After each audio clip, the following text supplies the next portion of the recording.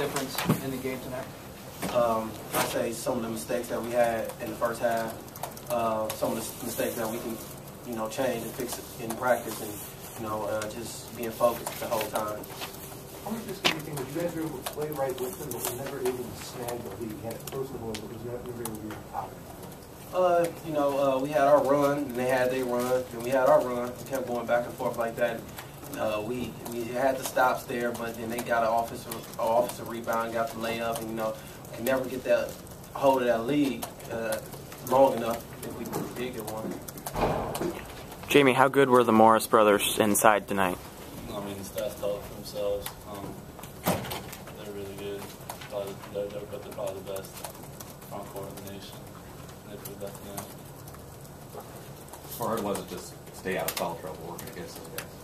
I mean, it's hard. It's difficult because they're, they're aggressive uh, offensively and defensively. Um, but just got to stick to your principles and uh, I of foul trouble with this game. But there was a couple times I, I let the go where I probably should have gone for it, just trying to avoid foul trouble. But um, this is something we got to learn from. Uh, this for Jamie and Diante. Does does this at all feel like a moral victory in any kind of way? No, I don't, I don't believe moral victories either win or lose.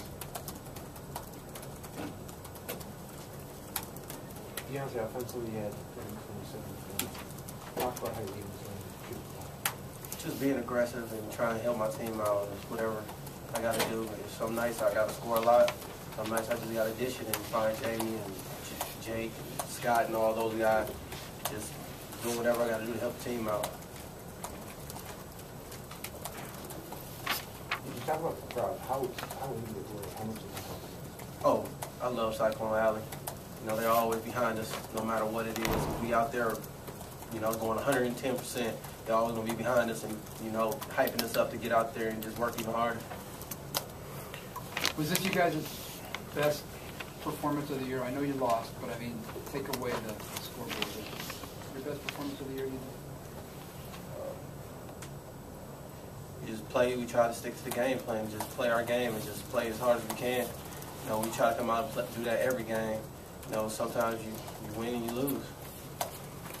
Jamie, how physical was it inside tonight? It was the most physical game of the year by far.